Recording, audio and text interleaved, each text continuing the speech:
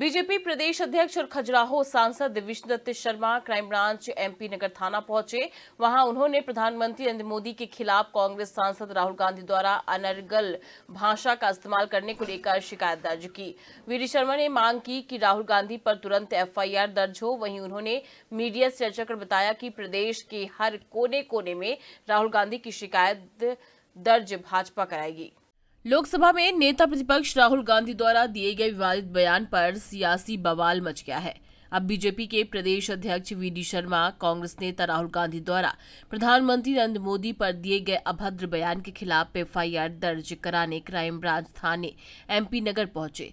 Crime branch थाने पहुंचकर राहुल गांधी के खिलाफ शिकायत दर्ज करवाई।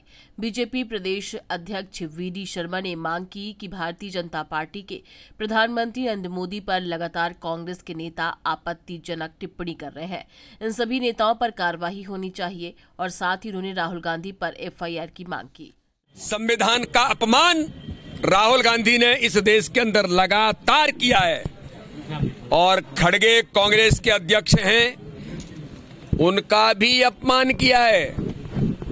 आज भारतीय जनता पार्टी के सम्मानी राष्ट्रीय अध्यक्ष जी ने कांग्रेस के अध्यक्ष को ये पत्र लिख करके उनको आगाह किया है कि आपके नेता राहुल गांधी, उनको किस दबाव में आप बचाने का काम करते हैं, उनका महिमा मंडन करते हैं, जिन्होंने इस देश का, भारत के प्रधानमंत्री का और भारत के संवैधानिक पद पर बैठे हुए व्यक्तित्व का लगातार अपमान और देशद्रोह की श्रेणी में आने वाले काम किए हैं।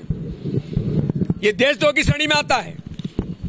तो इसलिए आज भारतीय जनता पार्टी मध्य प्रदेश ने हमारे प्रदेश के प्रभारी आदरणीय महेंद्र सिंह जी हमारे प्रदेश के सह प्रभारी आदरणीय सतीश उपाध्याय जी हमारे मंत्री आदरणीय विश्वास जी कृष्णा गौर जी सुमित पचौरी जी और भी हमारे सभी वरिष्ठ नेता भगवान दास। सबनानी जी सभी लोगों ने आज भारतीय जनता पार्टी के आज हमने एमपी नगर थाने में एफआईआर दर्ज कराई है और आज पूरे मध्य प्रदेश के अंदर कई स्थानों पर राहुल गांधी के खिलाफ आज भारतीय जनता पार्टी एफआईआर दर्ज करा रही है और हमने कहा है, ऐसा व्यक्ति जो भारत का अपमान कर रहा है, भारत के प्रधानमंत्री को गाली दे रहा है। भारत के प्रधानमंत्री के माताजी और पिताजी के बारे में किन शब्दों का उपयोग करते हैं राहुल गांधी?